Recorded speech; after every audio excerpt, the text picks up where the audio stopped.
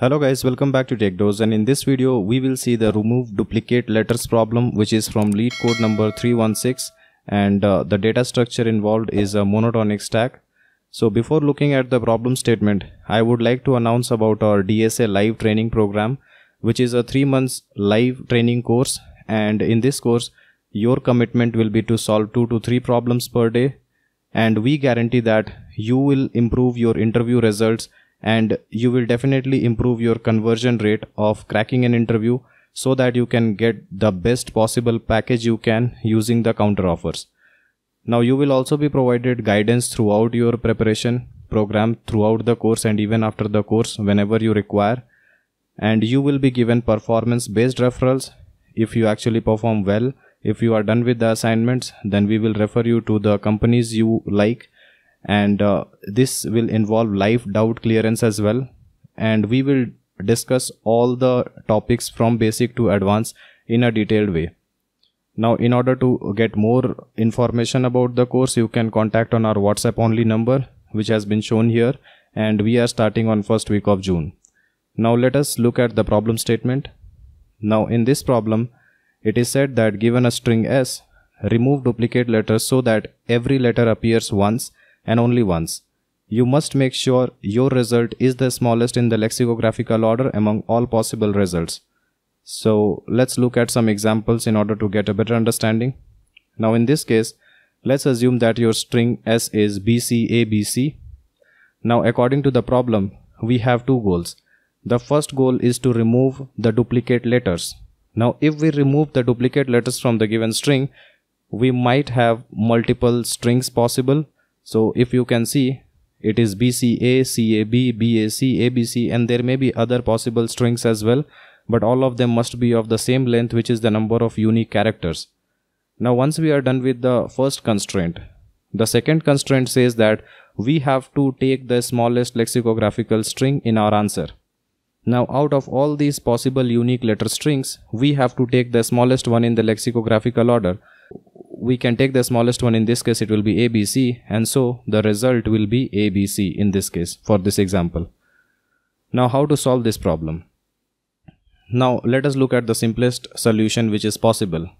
So if the given string is BCABC, then what we can do is we can try to take all possible subsequences that is we will generate all possible subsequences all possible unique subsequences which is the same as the decision tree diagram of the 01 knapsack as we can take two options for each item you can assume each letter being an item and uh, you can either exclude the item or you can include the item. So each of the letters will have two choices. So if the size is n then you will have a total of 2 to the power n such combination by multiplying all the possibilities right so the second thing which we can do is we can return the lexicographically smallest string as our answer. So we can solve this by using the backtracking in order of 2 to the power n time, right? So this is the simplest solution possible and, and obviously this will take a lot of time and if you look at the problem constraint it says that n is less than equals to 10 to the power 4. So 2 to the power 10 to the power 4 will be an extremely large number which will actually not pass in our test cases. So we should always aim at something less than equals to 10 to the power 8 operations in order to pass on LeetCode or even in the interview. So this is definitely not going to pass but this is the simplest possible solution. Now what to do? You can think about maintaining the increasing order of the string so that all the letters are uniquely included, right? So how to maintain the increasing order? Now if you have studied stack then you will know that you can use a monotonic stack and maintain either the increasing order which is the monotonically increasing stack or the decreasing order which is the monotonically decreasing stack. Now in this case it is about the increasing order, maintaining the increasing order and the second constraint was you do not include letters more than once. So let's try to maintain the increasing order. Now if you maintain the increasing order using a stack, now what will happen? Now let's just uh, process the example number one. Now in this case if you see B, the stack is empty so you will push B into the stack and you go to C. Now C can be pushed over B because B is a smaller letter, right? So C can be pushed over B. Now when you see A, then A cannot be pushed over C otherwise it will it will cease to be a increasing order stack, right? so in order to make it a monotonically increasing stack you will have to keep popping out the elements from the top of the stack unless either the stack is empty or you find a smaller element than a. So we will pop out this c and b and then the stack becomes empty. So you can push this a on top of the stack. Now you go to the next element which is b. Now b is larger than a. So you can push b over a and then you can go to c and you will see that okay c is greater than b. So you can push c over b. Now what were the unique letters in this case? The unique letters were a b and c they had different frequencies but these were the unique letters. So in this case you will see that if you form all possible unique uh, strings or the unique subsequences whatever you can get you will see that abc will be the smallest one. And you got the correct answer here which is abc this is completely fine. Now let's use this technique in order to solve the second example. Now in this case we will again start with b. And so let's push b on top of the stack because the stack is empty now you see that you get a c so c is larger than the top of the stack so you can push c over it now when you see a a cannot be pushed on top of C. So you pop C. Now B is also larger than A. So you pop B. Now you can push A into the stack and then you see B and you will push B on top of the stack because A is a smaller element. And then you are done with the entire parsing of this entire string and whatever you get, you got AB. AB is shown as an answer. But you will see that in this case, our unique letters are ABC so definitely whatever is the answer will definitely contain ABC in some order. But you see that it is not including the same. Okay. So in this case the answer should have been BCA and not AB. So this is a wrong answer. Now what went wrong in this case? The problem is that we are just maintaining the increasing order but we are not caring about the frequency of the elements right so let's try to solve that problem so the problem is we may remove something which may never occur in future. So we saw in the second example that we were removing this C when we saw this A. But since C is never occurring in future, it is not occurring in future. So I should actually stick with C. I should never exclude this C from the top of the stack. It should always be present in the stack. But we are removing it. So we should not have done this. In order to avoid this problem, we have to track the frequency of each character and make the decisions based on it. So let's look at an improved solution, which is we will maintain the increasing order using a stack and we will also maintain the frequency of each element. And let us try to solve this example which is BCAB. Now in this case, when we see B, I will push B in on top of the stack. Then when I see C, C is larger than the top of the stack, so I'll push C over it when I see A, I mean, whenever I keep including the elements, I will have to keep decreasing the frequency of that element, right? Now, when I see A, then A, can I remove A, uh, I mean, this C from top of the stack? So, since C is larger, I should remove it, but then you will have to check if C will ever occur in future. If the frequency of C is actually 0, then it is never going to occur in future and so I cannot remove it. And uh, if the frequency is larger than 0 then I can remove it.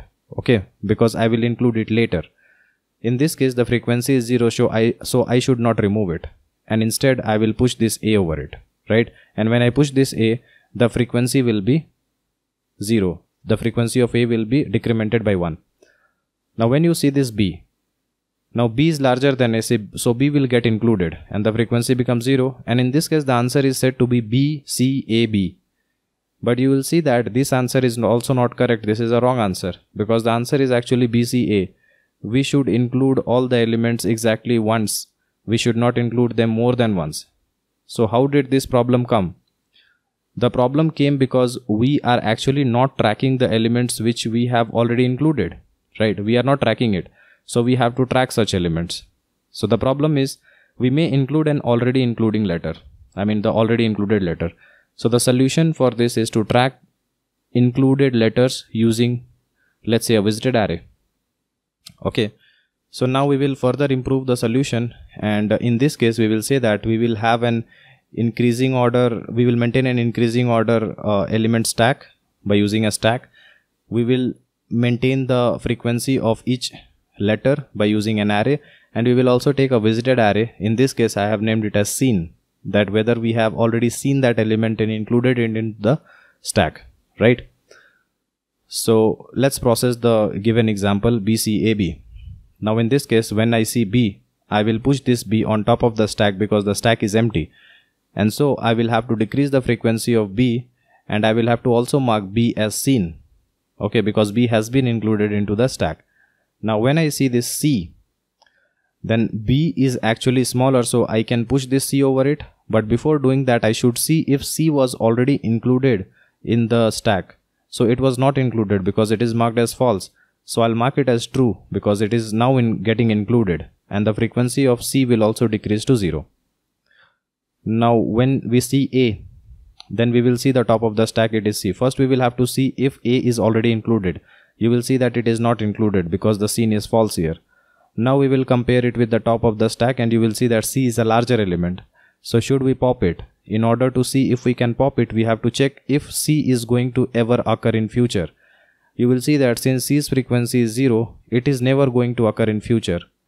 So in this case, you cannot remove this C. And so when you cannot remove this C, and if A was never included, you have to include A here and then decrease the frequency of A. And now you move on to the next element, right? So A is seen now.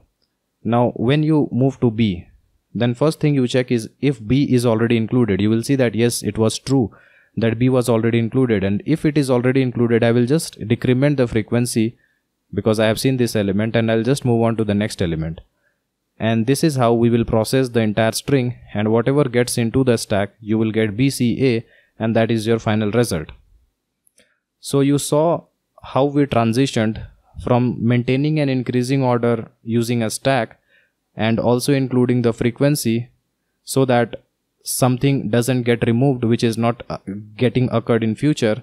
And then we also included the visited array which is a seen array in order to solve all our problems right? So i hope you understood why we did a combination of all these three data structures two arrays and one stack now the time complexity is just order of n because we have parsed this entire string only once and the random access on the frequency and seen array is just order of 1. So the time complexity is order of n. Let us now look at the code. In this code you can see that the string s is given and I have taken a frequency array which is for 26 letters since the constraint says that s consists of all the lowercase English letters.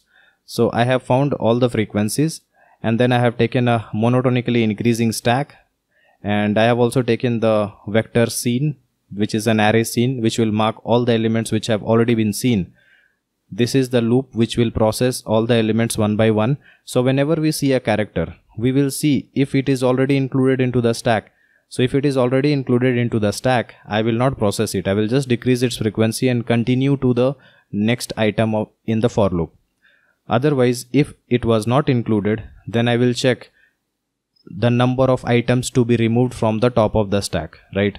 I will have to check how many items I can remove from the top of the stack. So if the stack is not empty and also the top of the stack is having a larger element than the current item, then we will check for the frequency that the frequency of the top of the stack must be greater than 0 so that I will be sure that it is going to occur somewhere in future. Because if it is not going to occur somewhere in future I cannot remove it from the top of the stack. And after removing all the items if it is possible or not possible after that we are going to push the current item on on the top of the stack. And uh, then we will mark the current items seen. That means the visited as true. And I will also decrement that item's frequency. Okay? And once all the items have been processed that is all the letters have been processed then the stack will actually contain the entire string in the reverse order. So we will have to take out all the items and uh, we will have to push it into our answer answer string. And finally we will return the answer string as our result. Okay? So this entire operation takes order of n and this is by using monotonic stack. So i hope you were able to understand the entire explanation if you are interested and uh, serious about interview preparation for your upcoming interview drive or for your upcoming interviews then you can contact us on our whatsapp and get the entire details of the live interview program. If you like our video then please hit the like button and subscribe to our channel in order to watch more of these programming videos. See you guys in the next video. Thank you.